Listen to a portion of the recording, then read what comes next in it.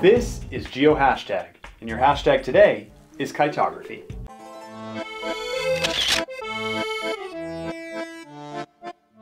You might not have heard of kiteography before, but I bet you've flown a kite, and I'm sure you've held a map that's made by a cartographer. So what do you get when you mix the two together? Kiteography. All you need to get started as a kiteographer is a kite, some string, and a camera. Voila! Kiteography.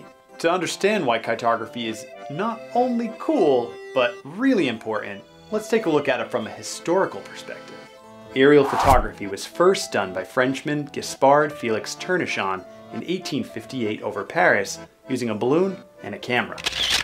Since then, it's gotten more sophisticated by attaching cameras to planes and satellites. But you can still do it yourself. Let's get a first-hand flight experience from our field kiteographers and National Geographic Young Explorers Marty Schnurr and Ross Donahue to see what and why they're kite mapping.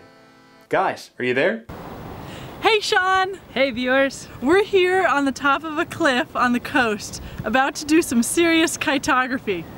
We're hoping to collect some aerial shots of the coastline that we can use to map this area using GIS software. Also known as Geographic Information Systems. We've attached our camera to its mount. It's gonna take a picture every two seconds in the air. We have some awesome wind. So let's do some kiteography. Flight one!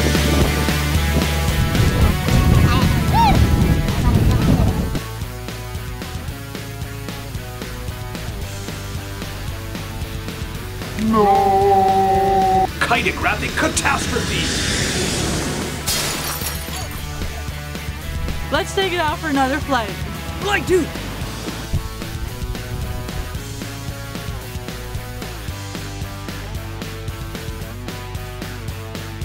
Cartographic success!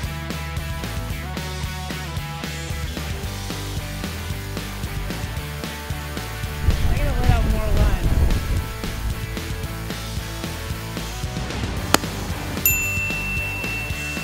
Well, we've had a pretty high flying day. Let's see what we've got.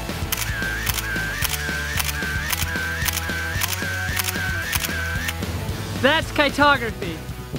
Wow, using kites to create maps is awesome.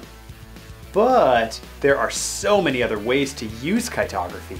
Beaches, graduation, stampedes, baseball games, crop circles, cranberry bogs, parades, demolition derbies, protests, pond hockey, weather events, wildfires, and monitoring change over time.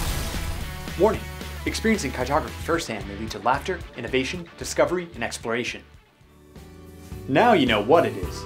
So go forth, newly minted kiteographers, and get mapping. The sky's the limit. Be sure to share your experiences and kiteographic images with us on social media using the kiteography hashtag. And find more resources on how to get started on the blog. I'm Sean O'Connor, and this has been your Geo Hashtag.